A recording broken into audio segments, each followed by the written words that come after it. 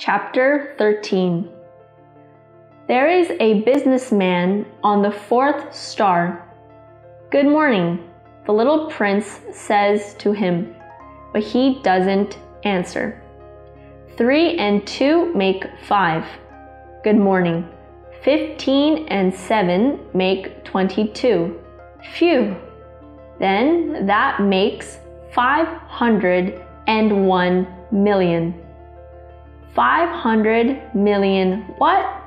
says the little prince.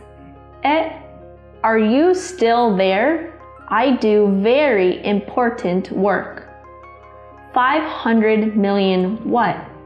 says the little prince again.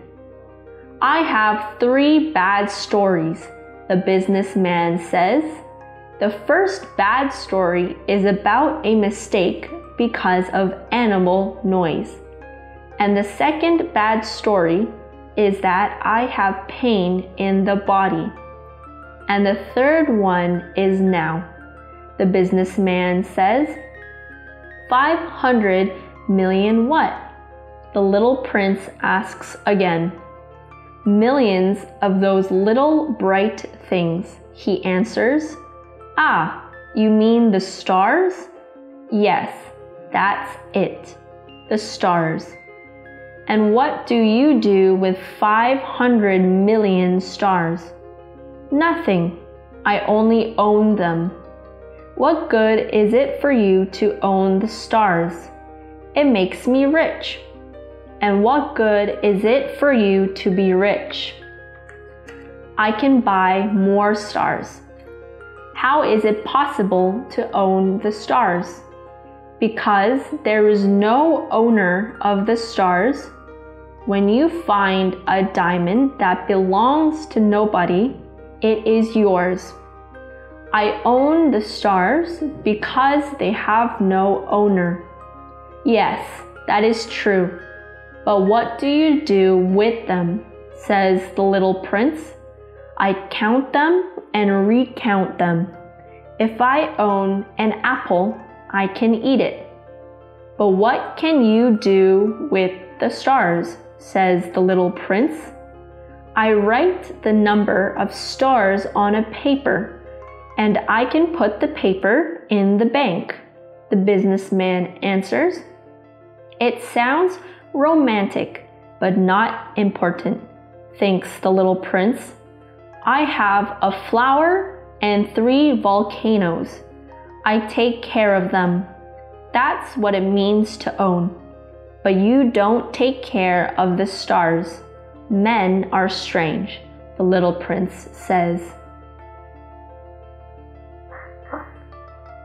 Chapter 14 The fifth star is the smallest. The star has a street lamp and a lamp lighter. I think this man is less strange than the others. The little prince says to himself, It is beautiful to turn the street lamp on and off. Beauty is truly useful. Good morning. Why do you turn off the lamp? says the little prince. That is the order, replies the lamplighter. What is the order? The order order is that I turn off my lamp. I do not understand, says the little prince. There is nothing to understand, says the lamplighter. Orders are orders. I'm very sleepy. I don't have the rest of the night for sleep, the lamplighter says. Why not? The little prince asks. Because this star moves faster and faster. Then what? asks the little prince. Then the star makes one turn every minute. What? One minute is a day? The little prince says with surprise. Yes, right now we are meeting for 30 minutes. 30 minutes is a month, so we are meeting for a month, the lamplighter says. The little prince wants to help him. He is a true person.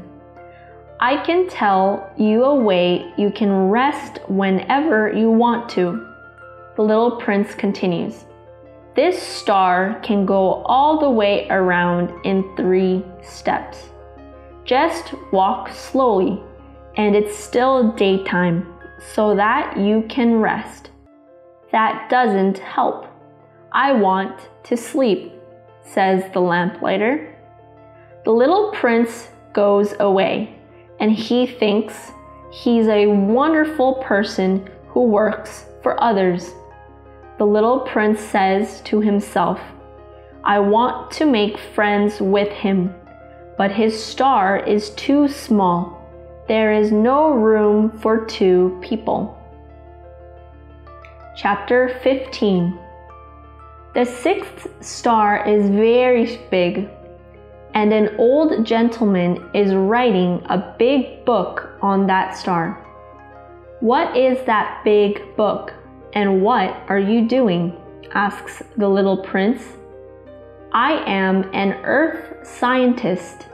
An earth scientist knows the location of all the seas, rivers, and mountains, answers the old gentleman. It's a great job. Is there a sea on this star? I don't know, the old man says. Ah, then what about a river or a mountain? I don't know. But you are an earth scientist. Yes, but I am not a traveler. An earth scientist cannot leave his desk. The earth scientist says, An earth scientist listens to a traveler and writes it down in a book. That's why the traveler's moral character is so important. Why is that? If the traveler lies, this book becomes a fake book. Also, a drunk doesn't help me. Then, when I meet a traveler of good character, I ask for proof of what he finds. But you, you come from far away. You are a traveler. Tell me about your star. The scientist opens the book and he holds a pencil. My star is small, the little prince says. My star has three volcanoes. I also have a flower. I do not write about flowers, the scientist says. Why is that? This is a very important book. I can change the story in this book. Flowers are short lived, so a mountain is more important than a live volcano or a dead volcano. A mountain does not change, the scientist says. But what does that mean, short lived? The little prince asks. It means it easily goes away, the scientist answers. My flower is short lived, the little prince says to himself, and now she is alone on my star he feels sorry. Go to the earth, the scientist says. So the little prince goes away, thinking of his flower.